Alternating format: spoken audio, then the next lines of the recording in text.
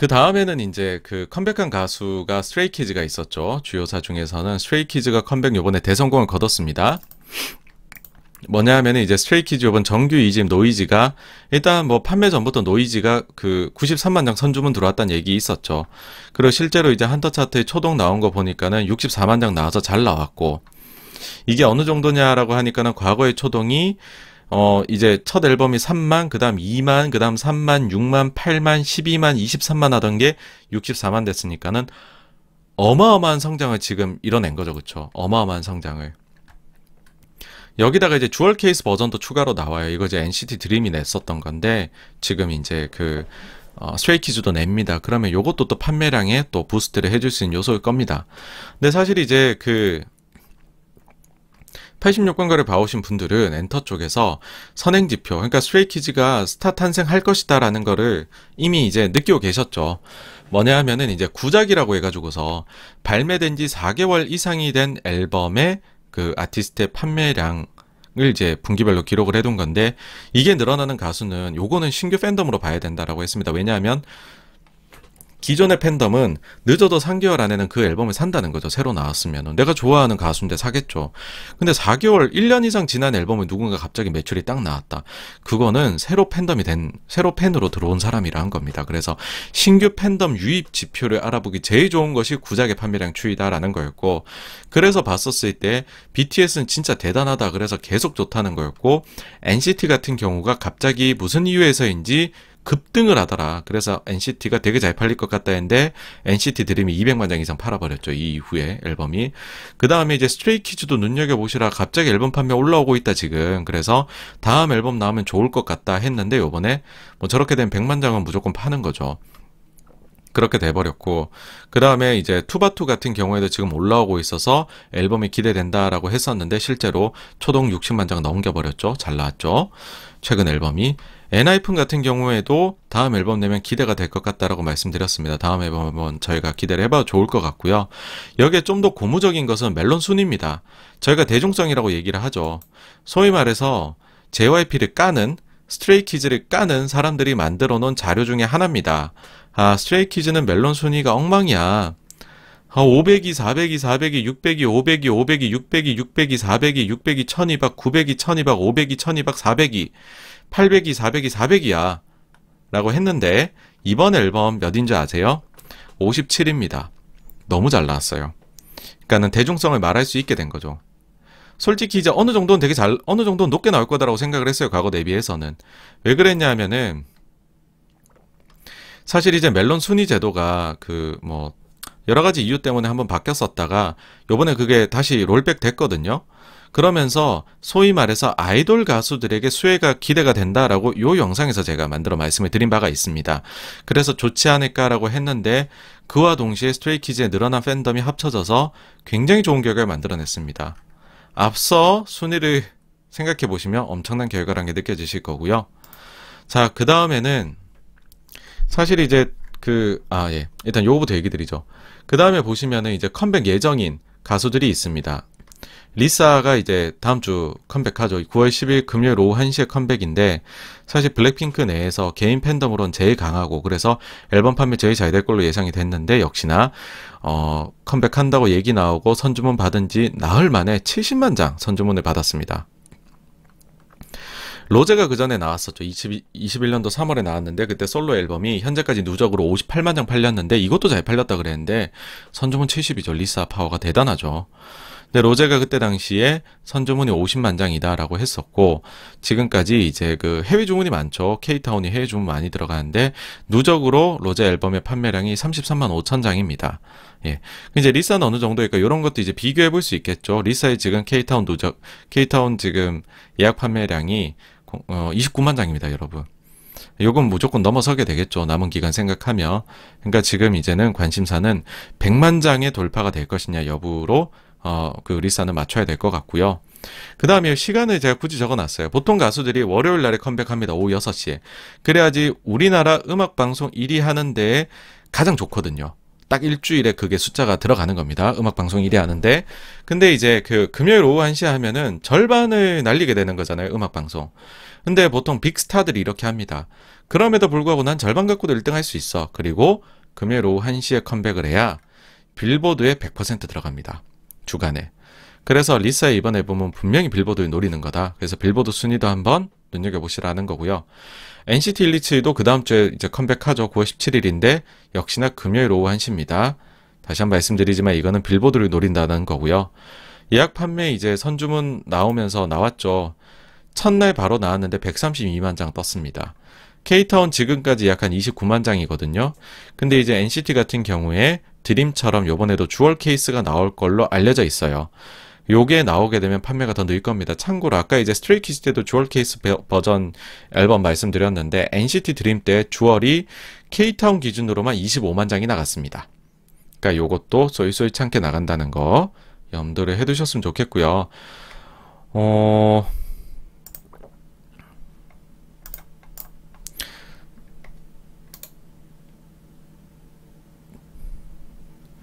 사실 이제 여기에서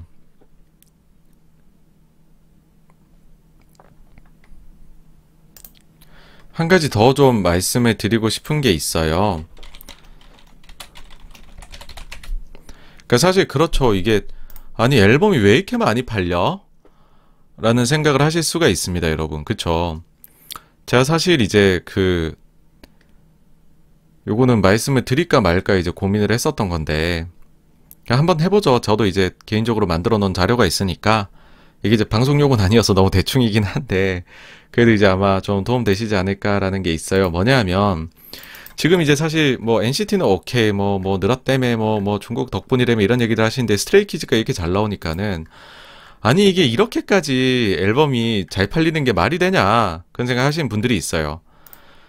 그 제가 볼 때 이 효과가 되게 큽니다. 그러니까는 케이팝 전체 커진 것도 있는데 이것도 이, 있거든요. 뭐냐 하면 그러니까 저는 개인적으로 CJ가 스타를 만들어내는데 출중한 능력을 가지고 있다고 생각을 해요. 그 대표적인 게 이겁니다. 여러분들 아마 이 프로그램 모르시는 분들이 훨씬 많으실 거예요. 컴백 전쟁이라는 게 있어요. 그러니까는 이제는 그 CJ에서 매운맛의 프로듀스 시리즈를 못 만들게 됐잖아요. 조작 때문에. 그러니까는 기존에 있는 아이돌들 가지고서 순한 맛의, 순한 맛의 퍼포먼스 위주의 경연을 만들어낸 거죠. 그 첫 번째가 시즌 1 컴백 전쟁 퀸덤이고요. 시즌 2가 두 개로 나뉩니다. 소위 마이너리그, 마이너리그 우승자와 메이저를 합친 메이저리그, 로드 투 킹덤, 킹덤이 있습니다. 이거 보신 분 거의 없으실 겁니다. 근데 이게 효과가 어땠는지 한번 보시죠. 일단 이 퀸덤이라는 게요. 2019년 8월 말부터 10월 말까지 진행이 됐었던 겁니다.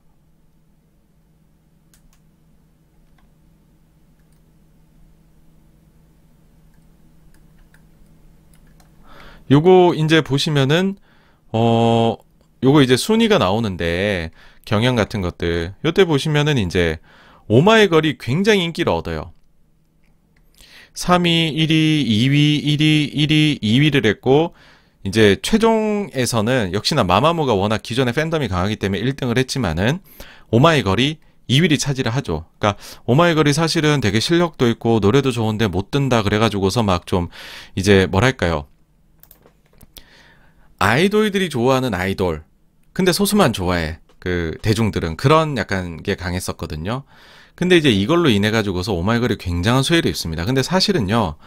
어, 그, 마마무하고 오마이걸 여자 아이들이 다 같이 수혜를 입어요. 이때 나도 여섯 팀 중에. 박범은 사실은 이제 뭐 지금 활동이 저조하고 AOA는 활동을 할 수가 없고 러블리즈는 뭐 그 이후에 아예 앨범 자체가 안 나옵니다. 그래서 저희가 파악을 할 수 없는데 요 나머지 세 팀이요. 퀸덤이라는 거에 나오고서 어떻게 변했는지 말씀을 한번 드려볼게요. 아, 일단 시청률은 저조했어요. 1% 제일 잘 나온 게 1%네요. 자, 오마이걸은 어땠냐? 나오기 이전까지요. 초동이 500장, 1800장, 2200장, 3200장, 11900장, 9800장, 12000장, 만장, 6000장, 23000장이었어요. 네.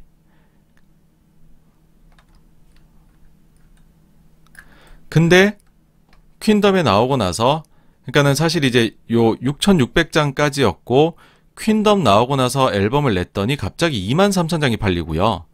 만 장을 겨우 팔던 그룹이 그 다음에는 최근 컴백에서는 6만 9천 장을 팝니다. 엄청나게 점프를 하죠.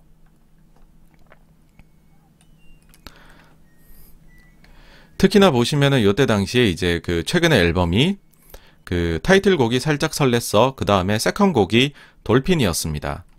근데 여기 이제 가온 차트를 보시면은 나오는데요.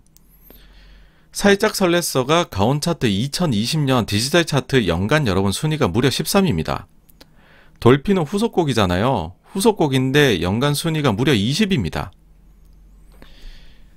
이게 어떠냐면 그 전에 냈던 앨범 다섯 번째 계절 퀸덤 출연 전입니다. 예, 다섯 번째 계절이라는 곡은 2019년도 가온 차트 연간 순위가 170위에 불과했는데 퀸덤 나오고 나니까 13위 21위를 해버려요. 그리고 최근에 낸 거 Dun Dun Dance죠.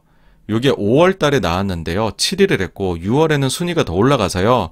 가온 차트 여러분 디지털 순위가 스트리밍 다운로드 합치면 4위입니다. 4위. 어마어마하게 달라졌죠. 172가 4위가 됐어요, 여러분. 마마무 같은 경우에 퀸덤 방송 끝나고 시얼말 끝나고 보름 정도 후에 그 앨범이 나오죠. 어떻게 됐느냐? 그전에도 팬덤이 컸죠. 그래도 한 3만 장 정도 팔던 그룹이었거든요. 7만 장 팝니다. 더블이 됩니다. 근데 그 다음에 더, 그 다음에 이제 그 낸 앨범은요. 더 늘어요. 여기 보시면은 그 이제 7만 장 팔렸다 했죠. 그 다음 앨범은 12만 8천 장이 팔립니다. 그 다음 6만 6천 장이 되는데 요건 이유가 있어요. 네. 어쨌든 12만 8천 장으로 3만 장대를 잘 팔던 가수이긴 했어요. 걸그룹 치고. 근데 더블이 되고 거기서 또 더블이 돼버립니다. 요거는 하나의 중국 올렸다 지웠다 했던 게 좀 작용을 했었죠. 그리고 그 사이에 이제 솔로 앨범들이 나오면서 좀 소비를 어 그 팬들이 많이 했던 것도 있고요. 그러니까 이제 그 퀸덤 이후에 솔로 활동을 다 합니다. 근데 솔로 앨범만도요. 4만 8천 장, 4만 9천 장, 2만 9천 장, 7만 장씩 팔려요. 그 다음에 여자아이들은 어떠냐면요. 원래 2천 장, 그 다음 앨범 2만 장 팔렸었거든요. 퀸덤 나오고요. 11만 장, 9만 5천 장, 11만 6천 장 팔리는 앨범 내게 됐습니다. 퀸덤의 효과를 톡톡히 봤어요, 가수들이 다. 그러다 보니까는 퀸덤에 이제 그 사실은 퀸덤의 주요 기획사들 안 나가려고 했었거든요. 그 근데 퀸덤이 딱 하고 나니까는 효과가 대단하거든요. 그러니까는 킹덤엔 서로 나가려고 해요, 이제부터. 그러니까 두 개로 나눠요. 로드 투 킹덤하고 마이너리그, 킹덤, 메이저리그. 2020년 4월부터 6월 18일까지 방송이 진행이 됩니다. 여기에 누가 나왔냐? 펜타곤, 온앤오프, 골든차일드, 더보이즈, 원어스, 베리베리, TOO가 나왔어요. 잘 모르시겠죠? 여기에서 가장 이제 눈여겨보셔야 될 거는 더 보이즈입니다. 1위, 1위, 3위, 2위, 1위, 1위, 1위, 최종 1위를 했어요. 최상위권이죠. 기억을 해두시고요. 시청률은 역시나 퀸덤보다도 안 나옵니다. 절반 반토막이에요. 최고가 0.6이에요. 아까 그래 1%라도 나왔는데. 근데 로드 투 킹덤 직후 발매한 앨범의 초동 판매량입니다. 자, 골든 차일드 그 전에 2만 6천 장 팔았는데 그 다음 2만 6천 장. 그 다음에 어 2021년도 1월 달에 낸 앨범이 2만 6천 장이었죠. 7만 천 장이 됩니다. 그리고 멜론 진입은 못하지만 지니 뮤직에서 11위, 6위, 2위로 진입하는 기염을 토해요.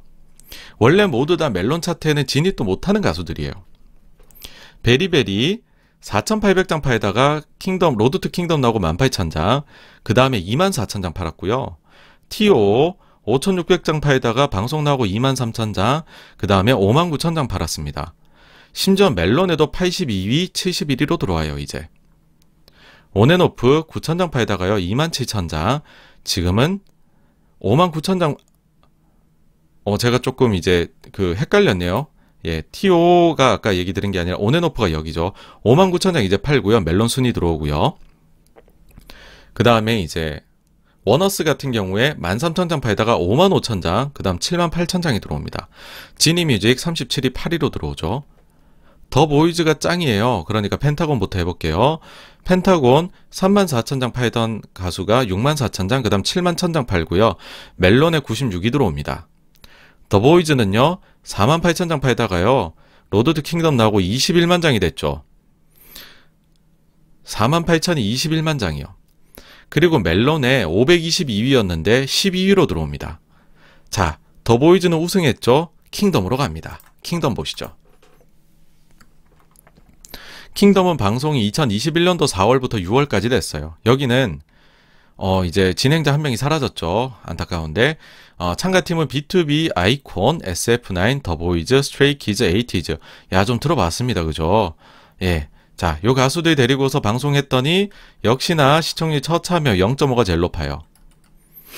근데 여기선 눈여겨볼 가수가 누구냐? 스트레이키즈입니다. 1위 했죠. 그 다음 경연에서도 2위, 2위, 1위, 1위에서 1위죠.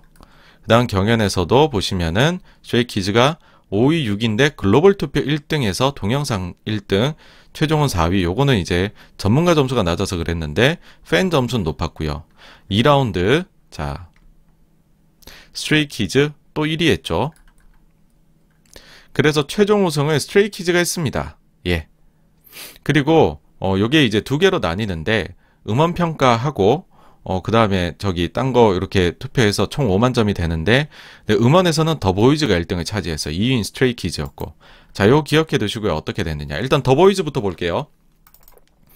이 방송에 출연을 하기 전에 아, 그 초동이 4만 8천 장이었습니다. 더 보이즈가. 킹덤 로, 로드 투 킹덤 출연하고 21만 3천 장이 됐어요. 그 다음에 킹덤 출연하고 앨범 냈거든요. 52만 장 팔았습니다. 초동만. 4만 8천이 52만이 됐어요. 그 다음에 SF9 같은 경우에 3만 아, 6천이 올해 7월에 낸 앨범에서는 14만 4천 장이 됐습니다. B2B의 경우에 그, 그 전에 보시면 앨범들이 5만, 6만, 9만, 9만, 군대 가고 나고 낸, 낸 처음이 5만이었거든요. 근데 지금 이제 5만 장은 무난하게 넘어갈 것 같아요. 그러니까 이게 그 스트레이 키즈가 올라간 것만 보고서 와, 말도 안 돼. 이런 일이 세상에 벌어지니 하실 게 아니라 저 방송의 영향력은 생각보다도 너무너무 컸었어요. 케이팝을 좋아하는 글로벌 팬들한테는. 그래서 저게 이제 방송이 제대로 나가면서 유튜브나 이런 것들을 통해 가지고서 엄청나게 예, 팬들을 이제 끌고 왔다. 그러니까 스트레이키즈만 몇 배 는 게 아니라 저기 나온 사람들 다 몇 배 늘었어요, 지금. 그래서 지금 CJ가 하는 만약에 저거 후속편 나온다 그러면 다들 나가려고 하고 있죠. 어쨌든 그런 얘기까지를 좀, 아, 예, 엔터 관련해선 드릴 수가 있을 것 같고요. 네, 다음으로 넘어가겠습니다.